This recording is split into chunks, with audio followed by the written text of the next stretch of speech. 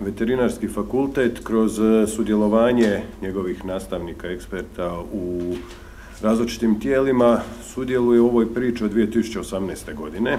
i sada to je ono što bih htio prvo istaknuti da je još 2018. godine osnovano stručno tijelo za afričku svinsku kugu, znači sustav se od tada priprema.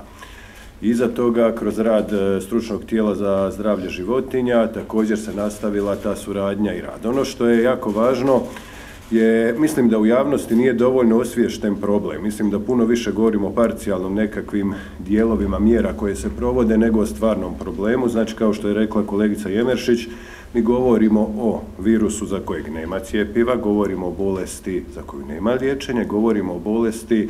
gdje u slučaju ulaska u bilo koji uzgoj je smrtnost najmanje 80%, 90, 95 pa i do 100%.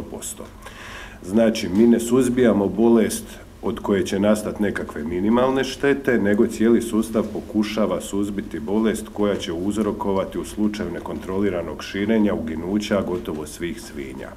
Uz to sve će izazvati određene restrikcije u prometu, znači koje u najekstremnijem slučaju mogu uključivati i restrikcije u kretanju pa i ljudi zbog toga jer ono što također nije očito dovoljno poznato da nažalost taj uzročnik se može prenijeti i suhomesnatim proizvodima. S tog aspekta apsolutno najznačajnija je povjerenje i suradnja jer svatko onaj ko u ovom trenutku smatra da ne treba provoditi ove mjere koje se provode pa primjerice ipak napravi ilegalno klanje, pohrani to meso, pa čak ga i preradi, još uvijek postoji vjerojatnost da će na, danas sutra sa otpadcima od takvog mesa prenijeti bolest. E, ovo govorim temeljem naravno znanstvenih dokaza, primjerice u Južnoj Koreji jer govorimo o globalnom problemu, ne govorimo o nacionalnom, ne govorimo o lokalnom su kontrolom proizvoda svinskog podrijetla u avionskom prometu primjerice 51 put naišli kod putnika iz Kine da su u sendvičima, proizvodima i svemu ostalom da je bio prisutan virus u sasvim dovoljnoj količini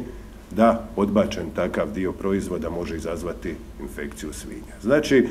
Zbog toga smatram da je dužnost nas kao akademske zajednice e, upozoriti, osvijestiti o opsegu, razini problema, mogućim posljedicama, a isto tako biti fer prema javnosti i reći da je ovo nešto što neće proći ni za mjesec, ni za dva, ni za šest vjerojatno,